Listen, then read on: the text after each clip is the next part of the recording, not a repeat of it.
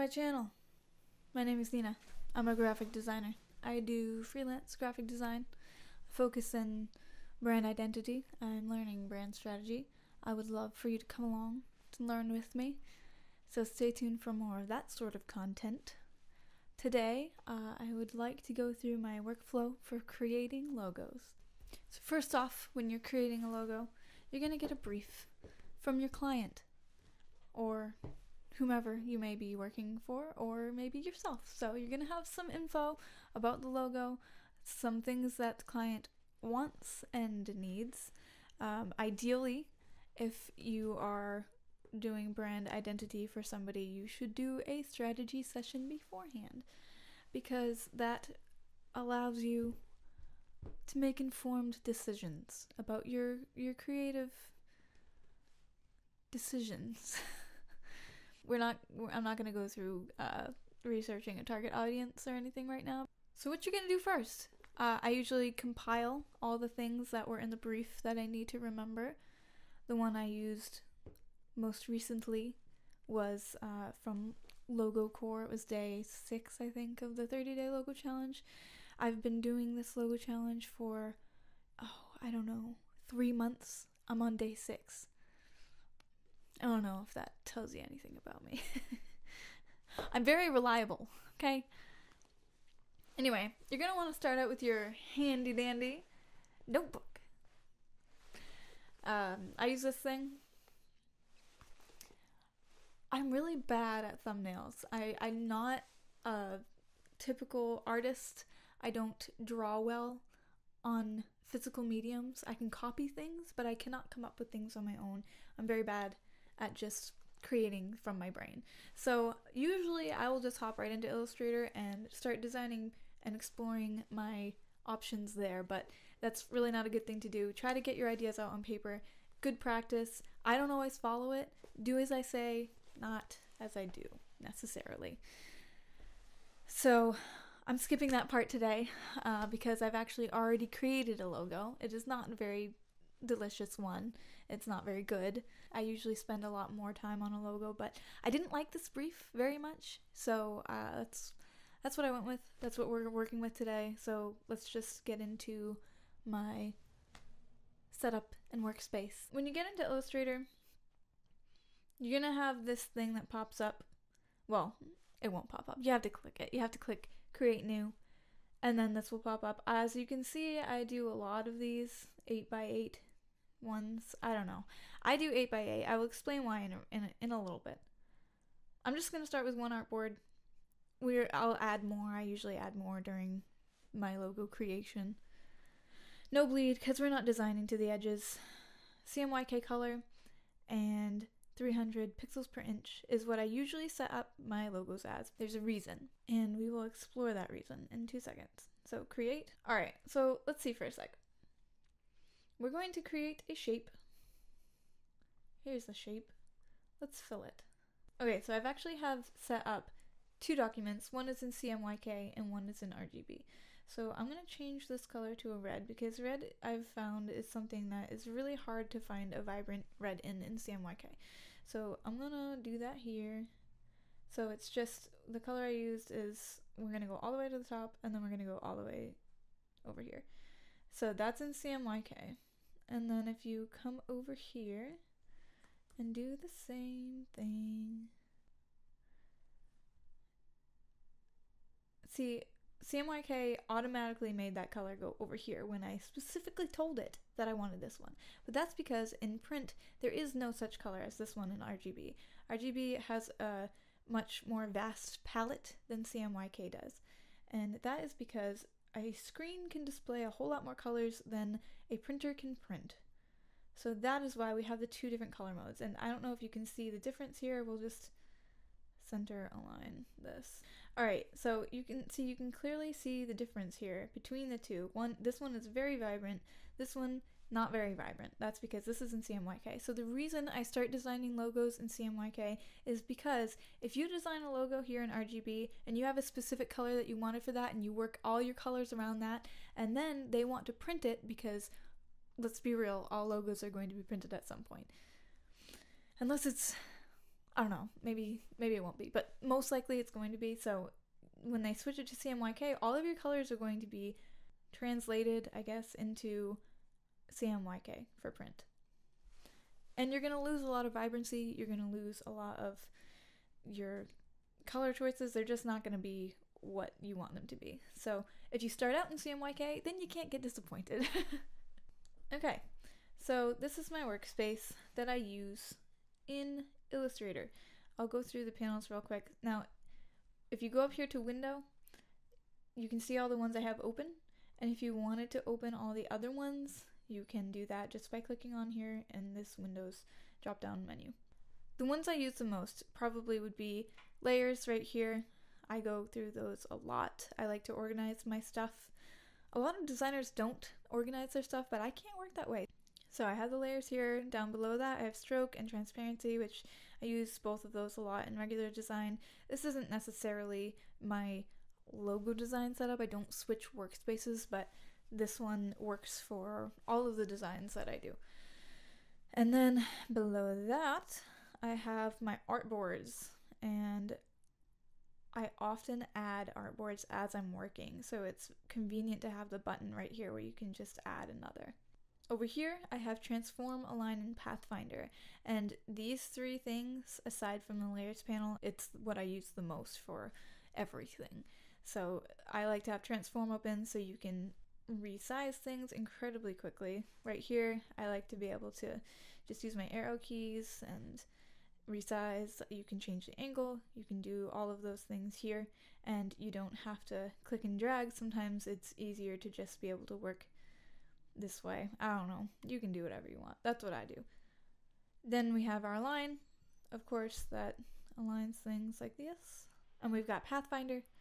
Very convenient just to have in case you need it.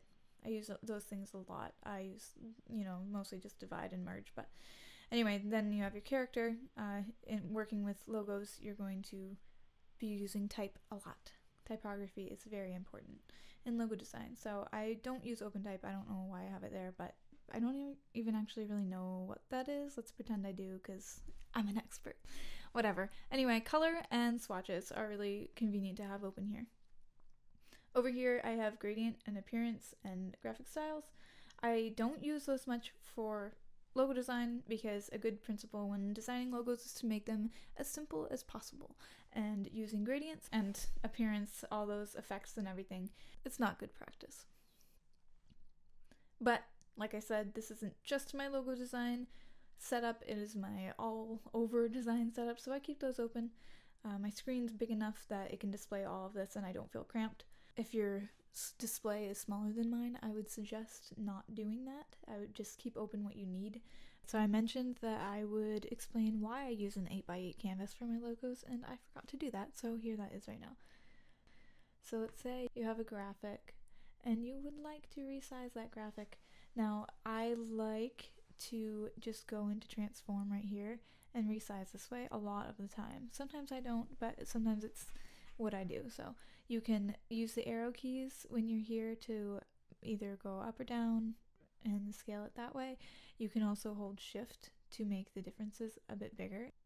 If I was working with a art, an artboard that was bigger than 8 by 8 you would have to click a lot of times in order to get your shape to be the, the size that you want it to be.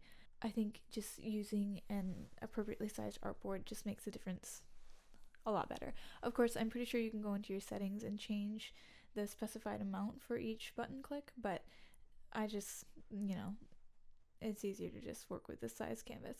Also, let's change my artboard size. Let's change it to, I don't know, we'll do three inches by three inches because it is vector, so it doesn't really matter how high or, I mean, how big your canvas is. But if you start working in a very small canvas like this, then when you're in the transform panel,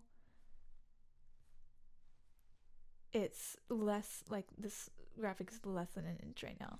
So if I to use the arrow keys to make it bigger or smaller, then the difference is going to be a lot bigger than you want it to be. So you don't want your canvas to be huge because then your button clicks are going to make it take forever to get to the size you want it to be.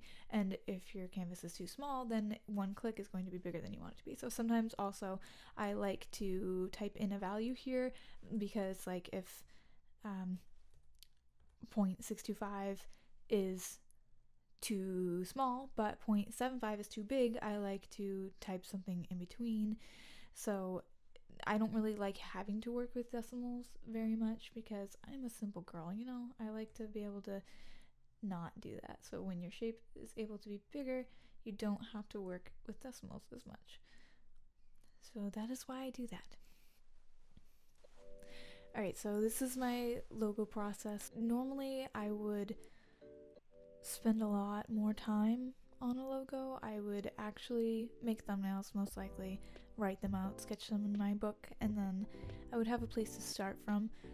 This time I I just wanted to get a recording done, so I, I wasn't being super picky about it.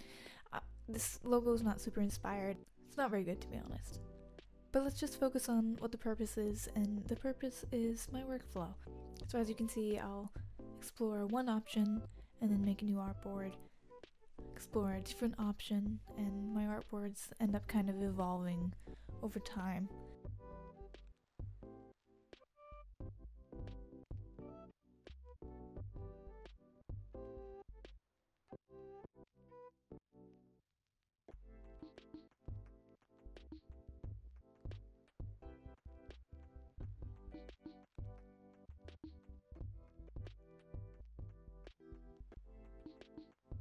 This third option that I'm working on currently is probably the best option in terms of potential, but it just took so much tweaking to make it look even passable that I think that I, I just I didn't want to fray with it anymore, so I I quit and I ended up ultimately going with the second option, which I don't love. I don't love it. It's not my best work. Please don't judge me on it. Like I said, this is for workflow purposes, not for showing you my skills and and making nice looking things. This is yeah, it's it's not my best work. If you go on Google and look up um, images slash films, or go on Instagram and look up that hashtag, you'll find a lot of similar things. There's a lot of film, film reels, cameras, also a lot, a lot of typography ones with slashes through it or similar effects, which is what I ended up going with on mine. Normally, I would look up, you know, the in- I would look up logos from the industry of the logo that I'm designing for, and I would try to stay away from all of the common ones, but like I said, I didn't like this brief very much, so I just kind of went with it. And as it is, I mean, this sped up version is, I don't know, three minutes, a little longer than three minutes. I only spent a couple hours on this. Usually I would spend a lot more time on it, and I would end 15 plus artboards showing my whole process.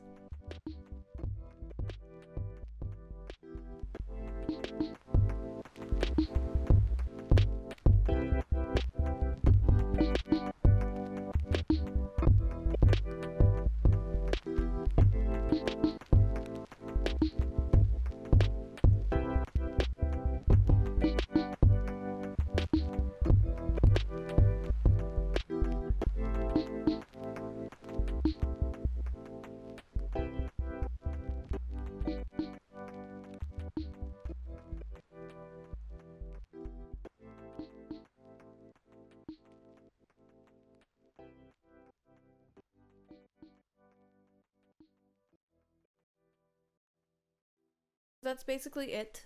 And after that, I just make sure to export it in any of the file types they may need. It's good to give them, I usually give them an uh, SVG file, the AI file, uh, PNG, and PDF. That's usually what I do, and, and give it to them in the lockups that they need and in the color versions that they need. I try to give them an all white version, an all black version, and a full color version just to make sure you set them up for success. Some designers don't like to give out the working file, but I'm a strong believer that they paid money for it. You can give them an upcharge to give them the full working file if you want, and that's totally fine. I usually just agree with the client on a price to begin with, and then I'll give them the working file after that. And if they need me for anything else, hopefully they had a good enough experience that they'll come back and hire me to do whatever it was that they needed me to do again. But I like to give my clients the freedom to not have to come back to me. Like they say, if, if you love them, let them go, and if they love you, they'll come back or, or something. I don't know. I think that loosely applies here. Maybe I'm gonna pretend that it does because I just said it and now I feel a little awkward about it, but I'm gonna commit and I'm gonna go with it. I hope some of this information was helpful. If, if it wasn't, I'm going to have other more valuable information coming up soon. So stick around. I will be I will be back. I'll be here. I'll see you. Anyway, actually I won't. You'll see me. Okay, I guess that's all for today. See you in the next video. I love you.